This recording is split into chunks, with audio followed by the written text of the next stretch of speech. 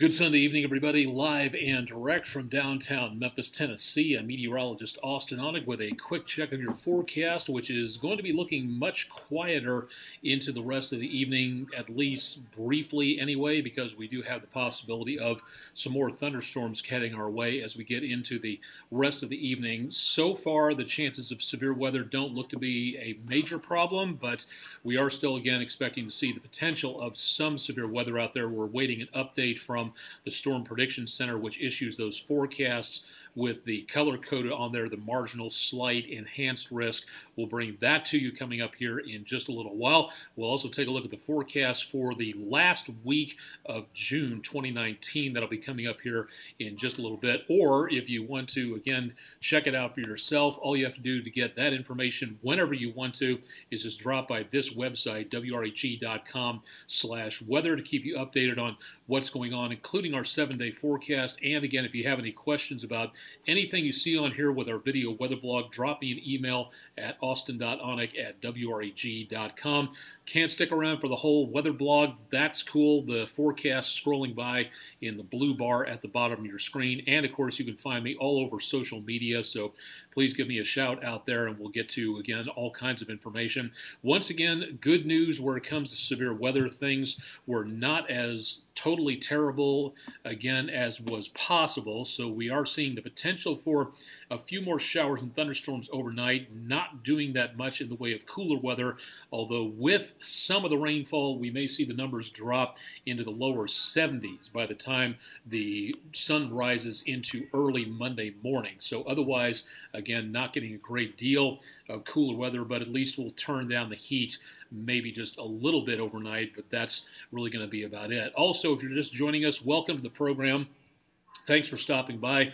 Uh, drop your location, city and state will do nicely. And if you got a weather report out there, uh, temperature, wind speed, what's in your rain gauge, let us know. Drop that into the comments section and we'll read off as many of those as we possibly can. So thank you very much to everybody for uh, dropping on by. Rest of the evening, again, decently quiet. It was very close to almost exactly where we should be for temperatures for today. 91 are high and exactly where our average should be 10 degrees below the record high last setback in 1988 and several years before that record low of 57 72 the average. 73 is where we wound up with. So this was almost exactly where we should be for this time of the year. So that's not doing too bad out there. Trace of rainfall from earlier, but we'll update that a little bit later to see what we actually wound up with from the Memphis International Airport. Fracturing of the clouds out there, getting a lot of high thin clouds way up top. The grayer colors you see down here on the Rhodes College cam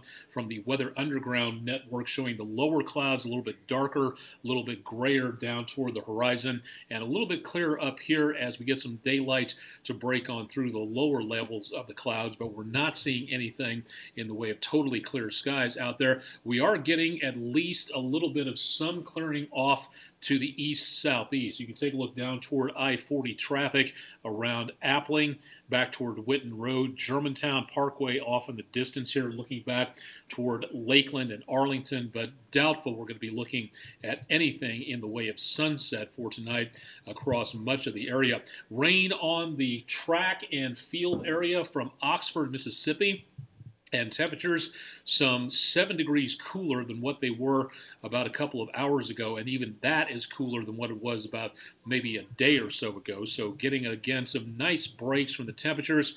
Definitely not getting any dry air anytime soon, as we see again some pretty humid conditions across much of the mid south out there. So the rain is doing a pretty good job of keeping things a little cooler. From Windyke Country Club, a little bit of the groundskeeping crew out and about, but with the showers and thunderstorms around, off the golf course is going to be the best place. This is also National Lightning Safety Awareness Week. So again, remember when thunder roars, go indoors. It's a great little catchphrase to remember that might save your life sometime, not too sure. Looking at the area where sunset should be happening right now, but once again, with lots of cloud cover, the only lights out there that we're really picking up are from West Memphis, Arkansas on the horizon, and that's about it for tonight. Tow heading upstream. Mississippi River is once again on the rise with tons of water flowing in from the Tennessee, the Ohio, the upper Mississippi and the Missouri River valleys, and all that's got to go someplace, and it's heading right on down past Memphis. So we will see a rise in the Mississippi River level once again over the next few days, heading toward minor flood stage. So it's a good possibility that the trails over here in eastern Arkansas, reachable by Big River Crossing, probably going to be closed down for quite some time because of just the very unsafe conditions out there. Don't want to come anywhere close to all this with all the water covering the bottomlands out there. Great when it's dry, not quite so much when it's in near flood stage. So something to think about there. The severe thunderstorm watch that was in effect for the mid south has now been canceled. It is over with for tonight, and we're not seeing anything in the near future to replace it. If that does happen, again, keep it tuned to News Channel 3, and we'll keep you advised on what we may be seeing. Now, if you're heading toward Middle Tennessee, still a severe thunderstorm watch in effect here. But once again, for the Mid South, it is over with for the time being. We do still have plenty of rainfall off and on across much of the area. West Tennessee, pretty quiet as of about quarter past 8 o'clock. Scattered showers across much of northern Mississippi, and heavier rainfall now making its way into eastern Arkansas. So if you're traveling around the Mid South tonight, you are going to have, again, more chances of showers out there. We are monitoring a couple of clusters of thunderstorms that have done a pretty good job of regenerating in the last couple of hours. One from around Mena and DeQueen, Arkansas, up to just to the west of Little Rock, right around the Dardanelles and Russellville. That is going to miss us heading up west of Little Rock.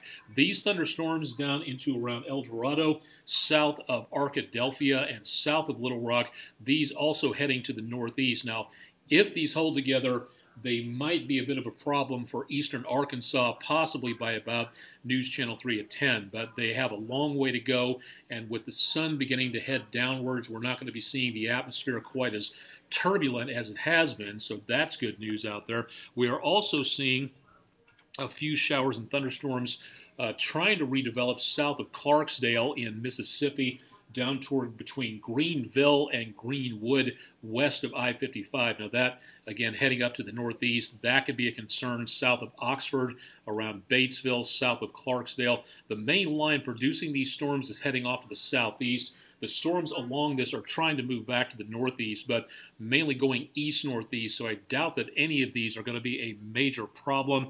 But once again, I'm going to be keeping a very close eye on this active portion of thunderstorms south of Little Rock and around El Dorado. So those could be, again, a bit of a problem into and around the area later on tonight. Now, otherwise, things are looking a lot nicer, at least as we go into overnight, at least where it comes to severe weather purposes. I'm not anticipating a big problem with staying awake uh, to watch these thunderstorms for right now, but once again, we'll be monitoring that, so keep it tuned to News Channel 3. And again, most of the activity appears to be back into around southwestern Arkansas at this time around the Arklatex and back on up into portions of Missouri if this again makes its way closer to anything, if it, if it goes all the way across the state, which is iffy at this time, just not seeing a lot out there. Fractions of an inch of rainfall on WeatherNet 3, the heaviest amounts on either side of about a quarter of an inch. So we're just not looking at a lot of rain, but enough to wet down the roadways. So that again could be a bit of a problem for drivers out there. Chances of showers and thunderstorms should linger right on in through about News Channel 3 at 10. And we're going to continue to again see some wet roadways right on in through early tomorrow morning. So if you have any plans for traveling, expecting the possibility of some thunderstorms out there that could wet down the roadways. Now, toward tomorrow, it looks like we're going to take a bit of a downturn toward about midday on the chances of showers and thunderstorms, but there will be that chance throughout the rest of the afternoon of maybe a few thunderstorms taking place, and then probably dwindling a little bit more as we head into early tomorrow evening. But there still will be that slight chance close to the area, so we won't be quite totally done with everything. Severe weather threat, good news. The new forecast has arrived from the Storm Prediction Center. The slight risk, which covered most of the Mid South, has now been curtailed down to northeastern areas of Mississippi, small part of southwest Tennessee, and a sliver of southern Phillips County in Arkansas. Just beyond that, the green indicating a marginal lesser threat than the more powerful slight risk here if this trend continues, it looks like the threat will be going away in the next couple of hours. So, good news on that. Now, the threat tomorrow will mainly be back to our east well to the east of the Mid South and back to our west with a marginal threat around the Red River Valley. Now, through about Monday into Tuesday, next threat lines up back to the west of us, but also that not showing again a major amount of concern for right now but we will continue to monitor that. Chances of showers and thunderstorms, again, pretty widespread out there, but it looks like it's going to be more hit and miss throughout the entire day rather than to cover the entire mid-south with showers and thunderstorms. So you'll be getting that chance of maybe some sunshine in between the clouds, but it won't be for the entire day. And it won't be for the entire mid-south all at once either. So you'll have some pockets of showers and thunderstorms here, a lot of sunshine there. Reverse the trend throughout the rest of the next several days off and on. And that's what you'll be winding up with. Now, because of the clouds and the rainfall, temperatures, because those rays of sunlight will be blocked out. We'll be looking at numbers back in the high 80s through about midweek. Then, as we go into around the end of the week, temperatures a little bit closer to normal. And it looks like for right now, as we go out of June and into July, starting the week after next, temperatures are not going anyplace, pretty stable back in the 90s. And unfortunately, that little gap of possibility of no showers and thunderstorms right approaching Independence Day doesn't look like it's going to be happening for right now. Those chances of showers and thunderstorms every single day will continue throughout the rest of these 10 day forecasts. So we're just not picking up too much of anything out there in the hope of very dry air or anything else in the way of a relief from chances of showers and thunderstorms. So, not much more than that as we go throughout the rest of the period out there. So, if you have outdoor plans, uh, vacation Bible school for the kids, swimming lesson for the kids, golf game for you, uh, family reunions, graduation ceremonies, whatever you've got out there. Be prepared to move back indoors again. And again, please check out the information on my social media pages regarding National Lightning Safety Awareness Week, which begins today. So make certain everybody is protected when it comes to anything involving showers and thunderstorms out there. Remember that lightning, even though the thunderstorm is 20 miles away from you, lightning can still strike where you are. Lightning can strike 20 to 30 miles away from a parent thunderstorm. So if you can see lightning hear or hear thunder, you are within range of getting struck. So please keep that safety tip in mind and let's all be careful as we go into the summer season as we head throughout the next several days and weeks. Very hot, very humid. And again, those chances of showers and thunderstorms could be causing problems as we get into the next several days and weeks for that matter. Got any pictures out there? Weather, anything in the way of the clouds, the rainfall, uh, any wind damage or anything like that? We'd love to see that and share that. So if you have those, Number one, feel free to send them along to me on my social media pages as well. Or if you don't want to do that, or you want to do something a little bit more straightforward, again, email me at austen.onek at wreg.com. Also, don't forget to send along your pictures of any weather damage today to the National Weather Service. You can go to weather.gov, click on the Mid South area on the map, and then click out, fill out a uh, submit a storm report or also submit a storm picture. That information that you provide could help the National Weather Service study the effects of storms. And the more information they get, the more knowledgeable they can be and help us to study weather all the way on through. So your weather pictures out there could make a difference in future storms and keeping everybody else safe. So please consider that. And again, send them along to us. And if we get any, we'll feature those as well into the next several days. Hopefully none to be take, no pictures to be taken because there wasn't any damage out there, but some smattering of reports out there showing some showers and thunderstorms causing some problems. So please keep that in mind. If you have them, please send them along. And thank you to everybody for sending them in so far. All right, one more check of the forecast.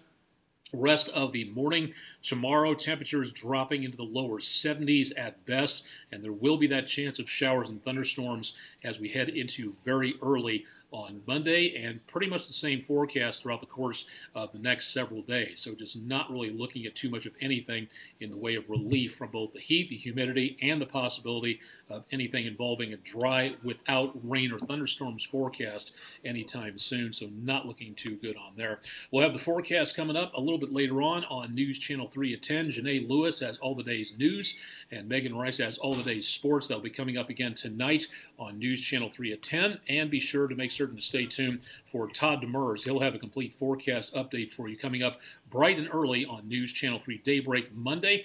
That starts at 4:30 in the morning, so stay tuned for more there. Live and direct from downtown Memphis, Tennessee, and thanks again to everybody for joining us from wherever you happen to be tonight. I'm meteorologist Austen Onek. Stick around for a lot more on social media and, of course, on News Channel 3 at 10, and, of course, tomorrow morning with Todd Demers. Thanks for joining us tonight. Stay safe and keep it tuned to News Channel 3 for the latest.